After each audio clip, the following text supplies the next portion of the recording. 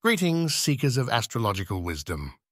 Today, we are going to look how to determine whether the person you wish to communicate with is at home using horary astrology. I am William Lilly, the author of Christian Astrology, and I shall guide you through the astrological keys to unlocking the whereabouts of those you seek. As ever, the ascendant and its ruling planet represent the querent. For the person you're trying to reach, we look to the seventh house and its ruling planet. This approach holds true whether you have a familiar or frequent interaction with them and they are not related to you. Now, suppose you're seeking to communicate with specific family members. If it's your father, look at the Lord of the fourth house.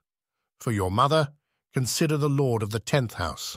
Should the father seek connection with their child, focus on the Lord of the fifth house. Similar principles apply for other relationships, simply adapt the rule accordingly.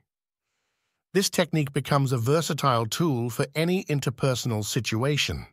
A crucial step lies in assessing the location of the Lord of the seventh house. If it rests within any of the angular houses, it is a clear indication that the person is at home. Should this lord or the ruler of the individual's representation house occupy a succedent house, then they're not far from their dwelling. However, if their significator finds its abode in a cadent house, then they are far away from home.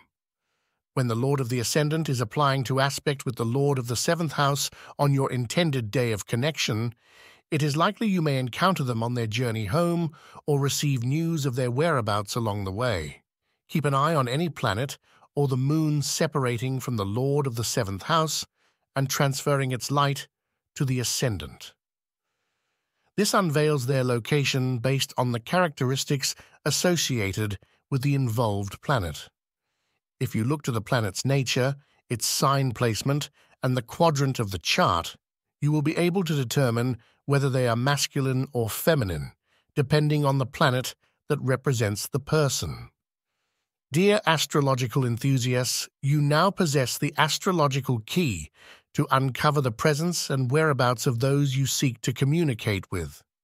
By reading the astrological signatures, you tap into a profound understanding of human connections.